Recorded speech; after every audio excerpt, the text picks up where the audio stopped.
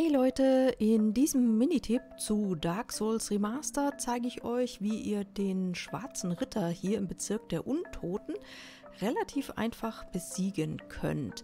Ich habe hier schon mal alle Gegner aus der Weg geschafft und locke den schwarzen Ritter jetzt hinter mir her. Da sprinte ich einfach nur die Treppe hoch, wo hier der Typ mit dem Fass oben auf einen lauert und gehe dann hier zu diesem Durchbruch in der Mauer und warte jetzt, bis der schwarze Ritter eigentlich fast den oberen Treppenabsatz hier erreicht hat und rolle mich dann hier runter. Und jetzt kann ich einfach nur warten und der Ritter springt in die Tiefe. So, das war's auch schon. Hier kann man jetzt runterlaufen, nicht rollen, da springt man nämlich daneben. Einfach nur laufen und kommt dann hier unten wieder an, wo der Ritter gestanden ist.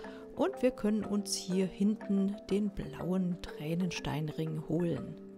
Jo, das war's jetzt für diesen Minitipp. Ich hoffe, er hilft euch ein bisschen weiter und ich würde mich freuen, wenn ihr im nächsten Video auch wieder vorbeischaut. Bis dahin, macht's gut und ciao, ciao!